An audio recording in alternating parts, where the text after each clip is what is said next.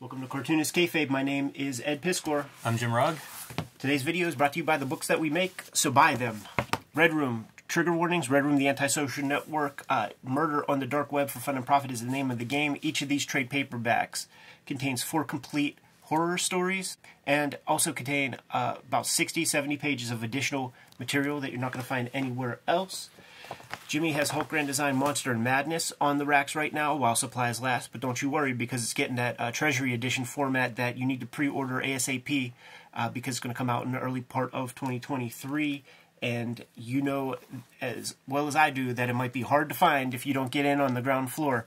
Street Angel Deadliest Girl Alive is an example of that in a way. It was out of print for a little while, but new printing. It's in all good comic stores.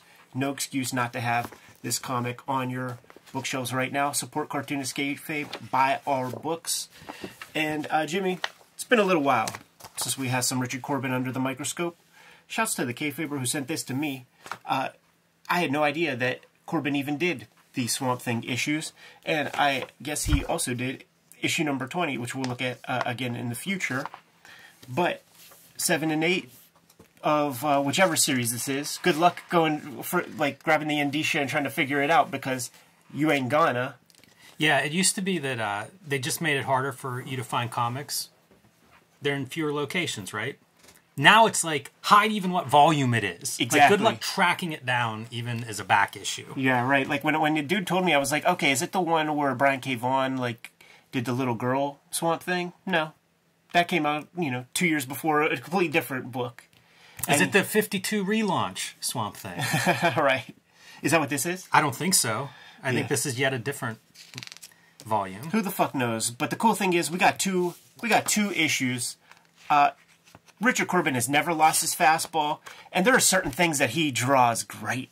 And when you have a fucking Yeti on the cover looking like this, dumb in the face, like this, we're in a this is a Richard Corben comic. Yes. You yeah, know? it's a monster book. Fantastic. What else do you need? Fantastic. The color ain't bad. You know, like looking at it at this level and looking at the monitor, they, it feels like good kind of good coloring on top of Corb. Yeah, and the story is basically cryptozoologists. They're hunting down these monsters like a yeti, Yeah. like a swamp monster. Um, good setup. This what is- else do you need? This is before Bitcoin is invented, but there is kind of like a, a, a Silicon Valley zillionaire guy, and I like to think that he's a crypto bro. He kind of acts like a crypto bro, but obviously it's before that time. But I just like the idea of adding a little more crypto to it. You saw the, the face without a bullet going through it, and just look at that distortion. It's a really good facial expression for a yeti. and our guy fucking lighting up, uh, you know, a stogie. Job well done. Look at even the detail on like his ice snow chomper boots. Those Yeah. metal uh, strap-on claws. So happy with himself. See, this is the kind of shit that gets you canceled these days. You do this kind of thing like that. That I think it was a Western PA story. There's like some dentist guy. Who, It wasn't PA, but yeah, that was- story it was a big PA? one. I, I think Minnesota, maybe Oh, okay. Milwaukee. I don't know where that guy was from, but yeah, he didn't do well. couple yeah couple couple different uh, inner monologues here we have a cryptozoologist guy that's just kind of he's a hippie and doesn't get along with with humanity so well goes off on his own you know if this is a modern story he'd, he'd be he'd be that coyote guy like just traveling with his puppy and uh, vlogging about it. I love the Corben head. yeah. Especially with that hat on like the proportions are just just distorted enough to make these guys cartoons. That's the thing man because he'll he'll like do some pretty accurate lighting but he'll push it you know? Like that looks like it could be very referenced but it's a corben drawing through and through. Yeah nobody's like him. Great textures and that that dull line that that blunt line that he uses i need to see an artist edition. Like i need to see what what makes those marks. Is it a felt tip pen? It's so true with him too because he does line art just black and white line art Yeah. and it's spectacular. And then he does the painted airbrush gradient art equally spectacular. Yeah. Our guy has a knack for uh, tracking stuff down finds this this stump and thinks he found his guy. Dude i, I was thinking about you while reading this man because of all your ohio grassman talk and, and like your, your your your your your bigfoot love. I feel Yeah. like that's in here. I'm, I'm on board. Because that's what the dude's doing with his with his uh, monologue. It's you know the in portland they're called this. In this part of the world they're called that. Man, and whenever that stump stands up, revolutionizing uh, Swamp Thing, making it his own. You know, you have your different versions. You got your Nestor Redondo Swamp Thing. You got your Bernie Wrights, and you got your Totleben Bissette. That that became the dominant. You know, like everybody was kind of ca- like uh, doing their Gilbert version of the Bissette Totleben for the longest. This is uniquely and unmistakably Richard Corben.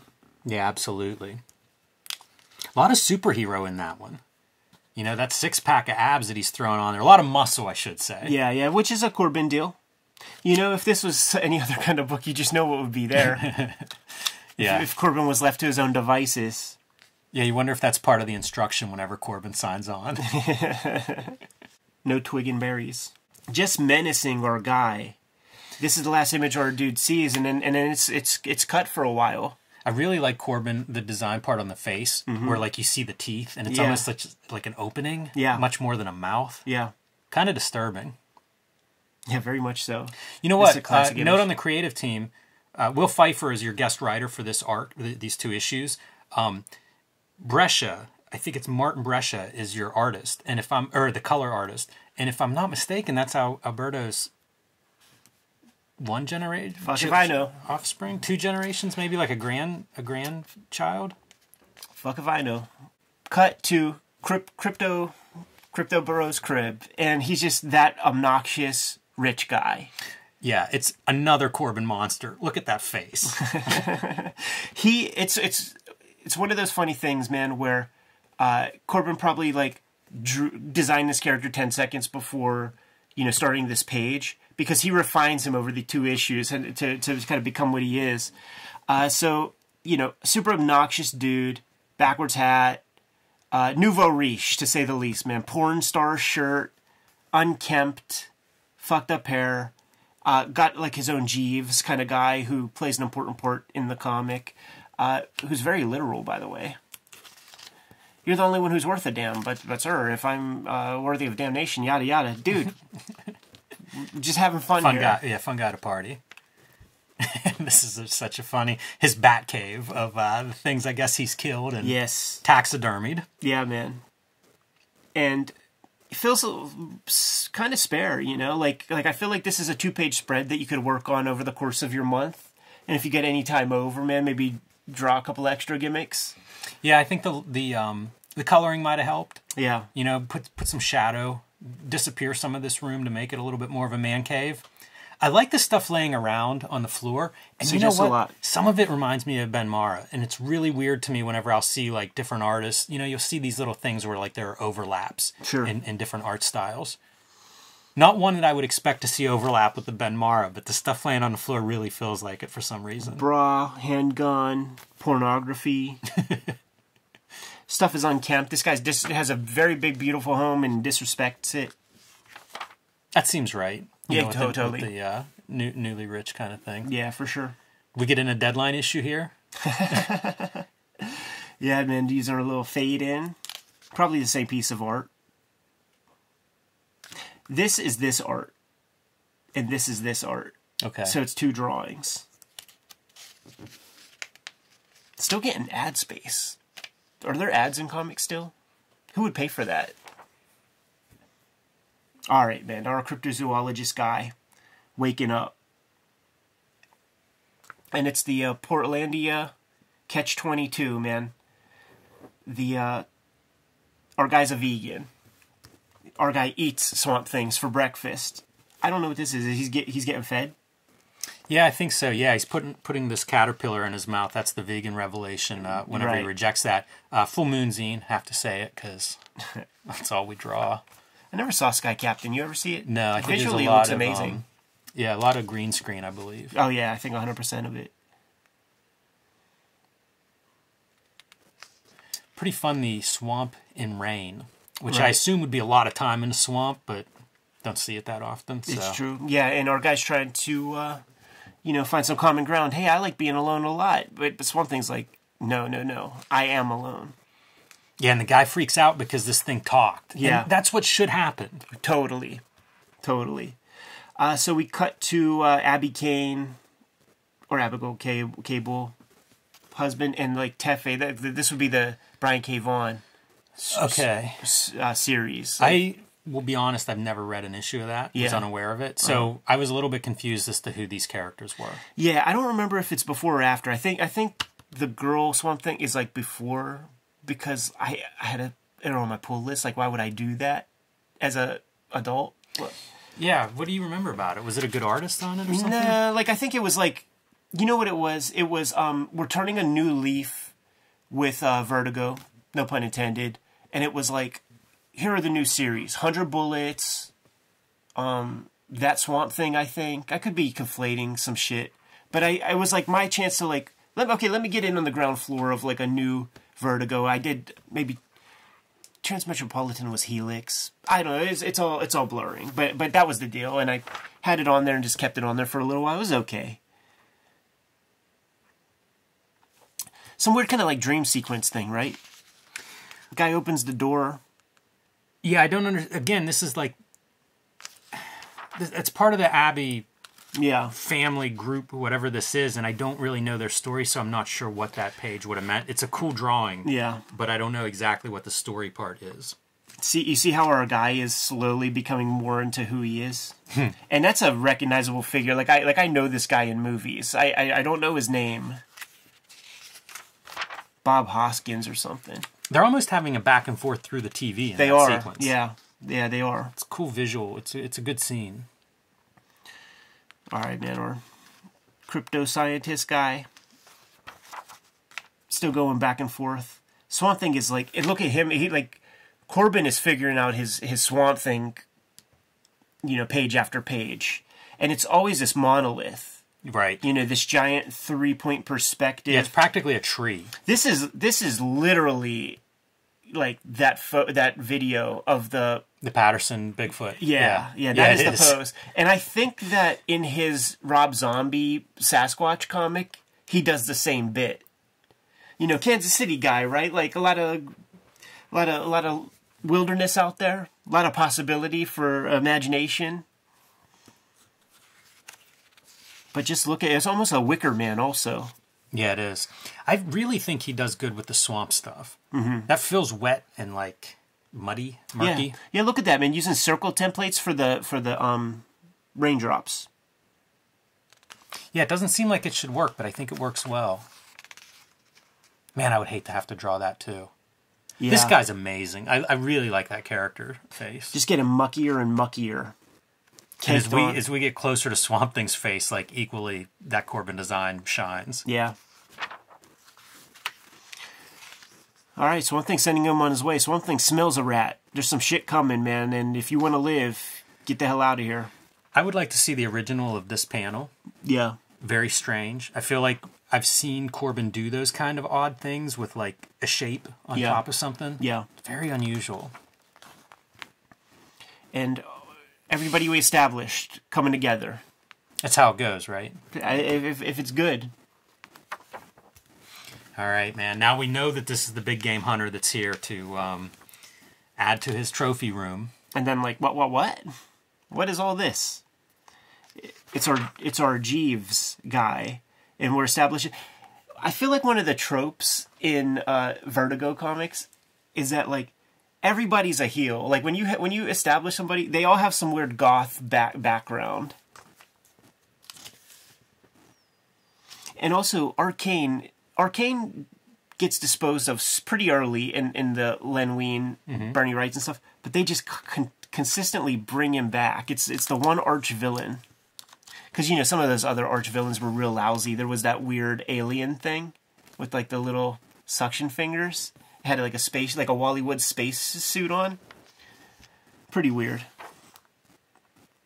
I need to go through those again. Yeah, yeah, I got them pulled for future episode fodder for sure. The Roots of Swamp Thing Yeah, reprints. that's what I have. I got a couple, but whatever. Right. I don't have the full run of them, is why I haven't read them all at once, but I should probably fill in that gap and then read them all. yeah, He's so good with these kinds of ugh, the grotesques.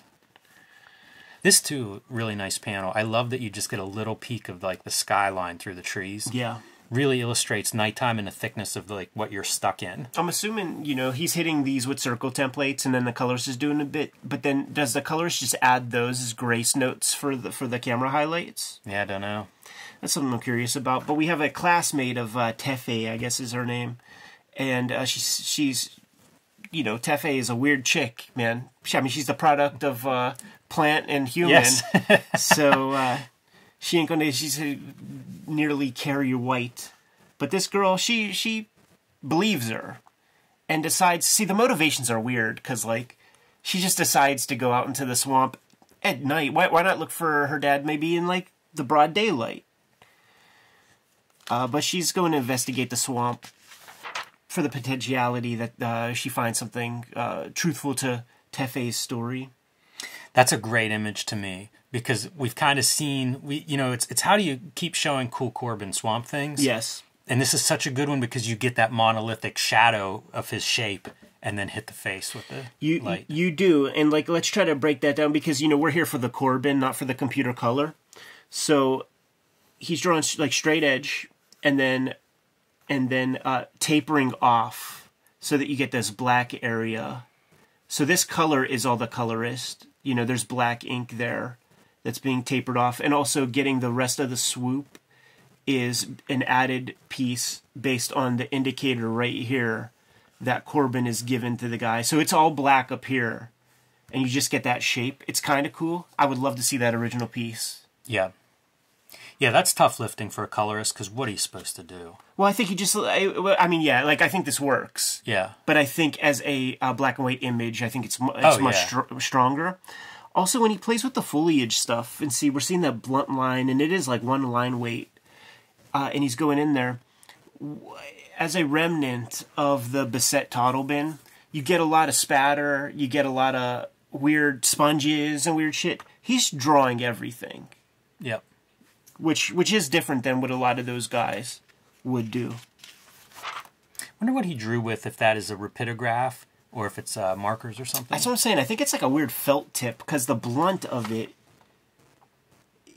it doesn't. The way the the end of it, it doesn't. I don't think it's a rapidograph. It feels like there's like a like a bleed. He seems so conscious of the end results of things. Oh, yeah. That I feel like the the tool isn't nearly as important as the piece that you're going to photograph for reproduction. Yeah, totally. It's just one of those mystical things that like I want to try to have a line like you know see see what it would be like to put that line down on a piece of paper. Still cartooning, but still lighting his characters interestingly. When you see it so well lit like this, like is this a piece that he sculpts real quick for himself? I'd be curious. I would love to see like a walkthrough that studio collection of all the pieces that he's made. He's pretty consistent with it. Yeah, that's one of those I think secret tricks. Mm-hmm. You know, if you're making comics and you're and you're admiring this guy's lighting, and then you realize like, oh yeah, he would build 3D models and uh, and, and really light them, have something to reference. You see, that's what uh, Alex Ross does with with that uh, Fantastic Four thing. Weird dream, dream sequence deal. Those like uni men or whatever that were definitely inspired by like one very specific cover by Ghastly Graham Ingels of Haunt of Fear. The one with the there's a guy built out of a hand and shit. How cool was that, man? Uh, interviewing um, Dan Clowes and hearing him say the words. I was a Bernie Wrightson fan, and then discovered Ghastly Graham Ingels. Like I've never heard him reference any mainstream comic dudes that would have been contemporary when he would be reading comics. It's almost the same arc as um, the cryptozoologist from before. Happen upon the Swamp Thing, who is like the least kept secret of the Louisiana Bayou Yes. and our guy kind of doing his bit to kind of protect. Little circle eyes are perfected with a blaring light coming towards them. The circle eyes are really good, and they're also kind of far apart, Yeah, which gives it that not human quality. yeah, for sure. Like, look It's how far apart they are there. Yeah. Yeah, completely doing his own thing. It feels alien that way. Corben always strong to sticks to his convictions. I mean, this looks like any Corben comic, you Even know. a pig nose on that guy. the um and he would use com- computer you know he'd use typography even on his oldest shit took us a while to get our hunter in the presence of our swamp thing even after we established all that stuff that that last issue I think that that would probably be the challenge of these comics is uh, like introducing characters that would interact with, uh, so that's not just like all inner monologue swamp thing talk. Yeah, hundred percent. Like in the middle of the swamp, that's extremely hostile land. How many people are even getting out there? Yeah, Swamp Thing destroys the the shotgun, as we would expect, and we learn that our butler guy is not what Of course not. what we expected. Man, it's kind of a cool deal. You conjuring up a little blade, a little mystical blade. And look at him just standing there like a golem, just a big scarecrow. And then when it comes time, dude, becomes a Bigfoot unto himself. Here's our teleportation. Is that what just happened? Yeah, I guess so. Look at the rotting dude. You know, like the rotting cryptozoologist guy. Bugs in the eyes, every orifice, centipedes and shit crawling on the shirt. Man, I bet it takes no time at all for a body to disappear in that swamp No, sir. to be reclaimed. No, sir. And then this is another one of those pieces where it comes to motivation and just like not believing anything. I don't believe it. Couple of schoolgirls happen upon a dead body and are just kind of chill about it. And investigating his body and notes and like not scared at all. There's some goth ass chicks, man. These are Vertigo readers. It's Karen Berger and um, Shelly Bond. That's right. They've seen it all, man. this this root branch, almost a tentacle. Yeah. That's a cool piece if you're doing a, a, a book like a Swamp Thing or a monster book in general, trying to make these other shapes resemble that uh, that kind of monster tone. he would always do this thing where he would give you some drawn texture up front, some in the back, and then he would go ham with the color in that in between stage. Now our girl's just frolicking as our swamp thing is dreaming, remembering the days of uh, Alec Holland. Would you call that a tangent? No, I'm all right with it. I feel like coloring probably doesn't help that. You have the dark going into the that hat, that bandana thing. I think the value creates more of a tangent than uh, than it would if it were. If you saw that in black and white, I think it'd be fine. Yeah. Our girls leave the the bayou totally uh, nonplussed at happening upon a, a dead carcass, and our Swamp Thing doing what he does, just kind of chilling there. Yeah, being alone. It's a cool Swamp Thing characterization. I love the swamp there at the end. Yeah, I wish that it was the, this whole book was more this color palette because I don't know that we see that like brown muddy water sick pea soup color yeah. very much and that's a good color that is a gross color Brescia does not do a bad job on the computer color to try to kind of approximate. I there's not one moment really where I got anything but a Corben vibe. Yeah. you know, and he's so established himself with color. You know, one of the best color comic guys in like the '70s. yeah for sure and something that could be a like you could go wrong you could Yeah. go really badly wrong with Corben coloring it so um, I wonder if Brescia if, if does some research you know tries to uh, make sure that it that it that it flatters Corben's stuff because you do have a lot you could reference Absolutely. Absolutely, and I, I, I mean, I think we even looked at on this channel like the Lovecraft issue of uh, heavy metal that has Bre- Alberto Breccia work and Richard Corben work in there, man. So Hmm, I never even thought about that. if he's related, like there it is, man. You must have reference on hand. yeah. Two issues of Richard Corben's Swamp Thing. There's all these uh, uh, weird odds and ends towards the late period of his career that we can look at. And you know what? I got a couple complete miniseries. Shouts to Hans Rickheit, man, who sent us a half box a while back with uh, Man, that was years ago. yeah, it was man uh, with uh, five issues of Den. Uh, what's the dinosaur joint? Um, Is there one called Children of Fire or something? Son of Mutant World, Children. Yeah, Children of Fires. That's one, of those. them. We need to look at all that stuff because that's the self-published stuff. Yes, the Yeah. Fantagor joints. Yeah, that stuff is really pretty impressive. Um, but yeah, it's so weird that this stuff exists because it was. I don't remember this coming out. This was No. like years later when I'm looking at Richard Corben and like, what? He did Swamp Thing issues. Yeah. So bizarre. and it's still Corben. Like whenever he did the uh, the Brian Azzarello um, uh, Constantine stuff, I think that was the first time that he like dipped in. You know, he did he did a Batman black and white, and that was probably that was probably the first where it's like, holy fuck, man, Richard Corben doing a mainstream. Like, why would he do that? And then he just Did a bunch of it. He did so much. The last part of his career is is all that kind of kind of shit, and uh, it's an interesting new leaf to turn from a guy who was doing pretty much his own thing for thirty years. Do we have a Corben playlist yet? We will. Yeah, yeah, because there's we, we've covered a few Corben, so I was gonna say people watching this at home, like go seek out our Corben stuff because we've looked at some really good Corben things, including the Angoulême catalog, which is probably as close as we're gonna get to an artist edition, sadly. Yeah. But uh, it's quite a book, and it's it's quite a showcase of Corben, a good survey. Let's give them the opportunity to go check that stuff out, Jimmy. Kayfabers, like, follow, subscribe to the YouTube channel, hit the bell. We'll notify you when new vids are available. Jimmy, tell the people what's out there, man. Hulk Grand Design, Monster Madness, the comic books are in stores now.